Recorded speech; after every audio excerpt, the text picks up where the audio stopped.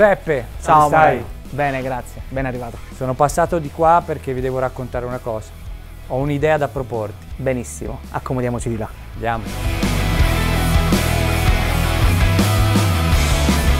Giuseppe, allora nel 2018 sono i 70 anni della Citroën Due Cavalli, cioè questo anniversario, e noi per EICMA a novembre vorremmo portare una moto ispirata da Due Cavalli e questa moto la farete voi. Sei contento? Figo, figo. Bello. L'importante è che non sia soltanto prendere il motore della due cavalli e poi andarci a costruire intorno una moto.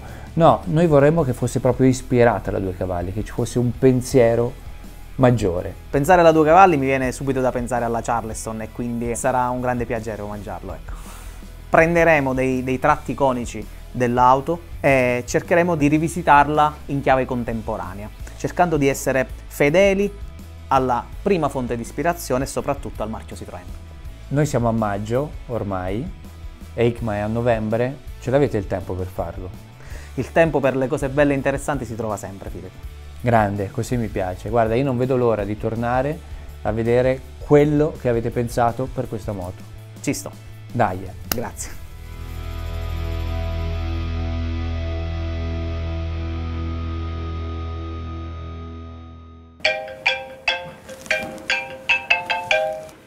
Pronto? Giuseppe, ciao Moreno. Ciao Moreno. Senti, domenica c'è il raduno nazionale Due Cavalli a Gonzaga.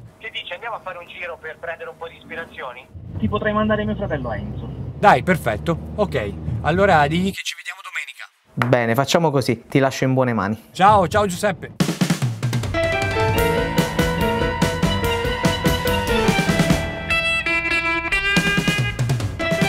Mi sa che siamo proprio arrivati, arrivati. Attenzione, infatti qua inizio a vedere le prime due cavalli. Ci dovrebbe essere Ilaria all'ingresso. Ilaria sarà colei che ci accompagnerà in questo viaggio nella storia della Due Cavalli. La nostra Wikipedia dei due cavalli. Eccoci. Ilaria, ciao. Ciao ragazzi, benvenuti a Gonzaga al raduno nazionale Due Cavalli. Fantastico. Dove parcheggiamo? Dove volete, più avanti in mezzo alle bicilindriche. Andiamo.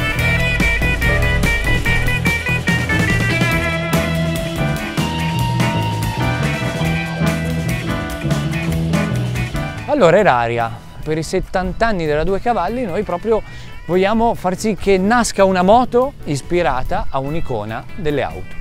Allora, la Due Cavalli è nata, se vogliamo, dalla prima ricerca di mercato. Pierre-Jules Boulanger, che era il eh, direttore all'epoca di Citroën Francia, andava in vacanza in Auvergne, un posto di campagna, e si accorse molto semplicemente che i contadini non avevano un'automobile. E allora scrisse la famosa frase voglio due sedie a sdraio sotto un parapioggia capaci di portare due contadini 50 kg di patate e un paniere di uova attraverso un campo arato senza rompere nemmeno un uovo. No, no, aspetta, aspetta, aspetta, cioè lui scrisse tutta questa frase e tu la sai a memoria. Eh beh, sono Ilaria Pidia, mica per caso. Mica per caso. Cioè, ragazzi, Che te ne pare Enzo? Beh, le due cavalli sono, devo dire la verità, tutte belle, ma in generale le bicilindriche francesi hanno il loro fascino. Che poi bicilindriche richiama un po' Il nostro mondo, mondo. il nostro mondo moto. Ma voi avete già scelto la base su cui lavorare come Sicuramente una base classica, sicuramente Ok. una base classica o comunque una modern classic, quindi una moto Ok. su cui si può lavorare bene. Ok, cos'è che ti affascina di questa Enzo? sicuramente la forma dei passaruota, il passaruota chiuso dietro molto simile alle auto degli anni 30.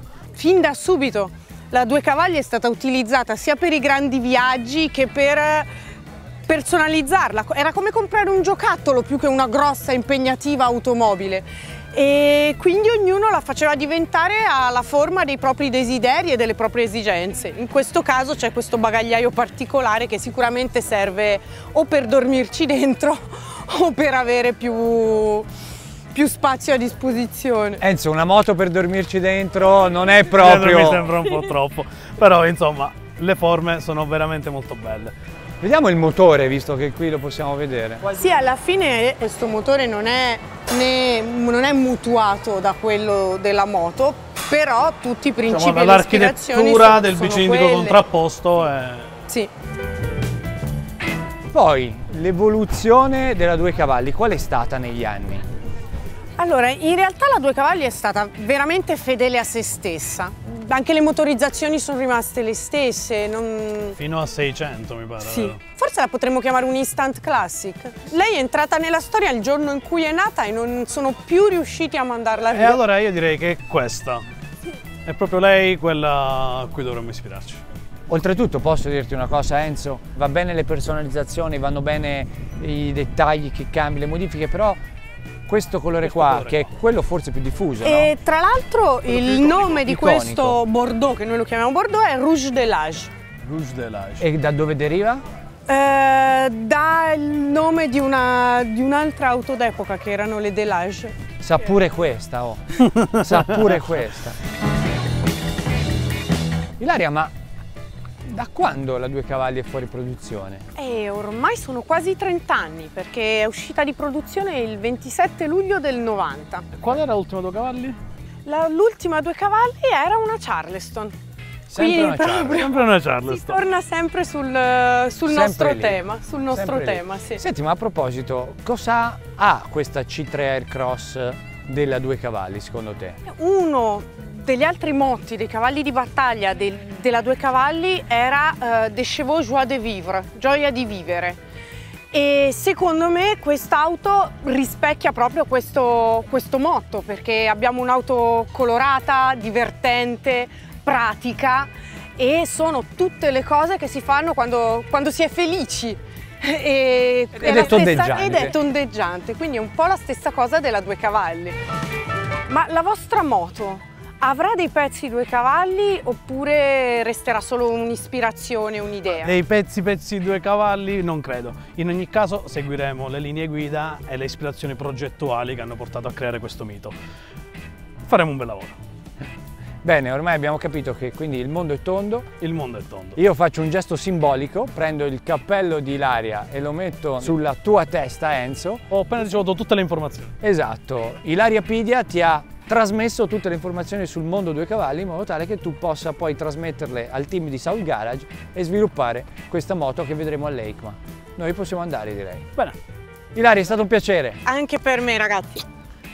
grazie di tutto. Grazie di tutto, un bacio, buon viaggio e buon lavoro. Ciao! Grazie, ciao.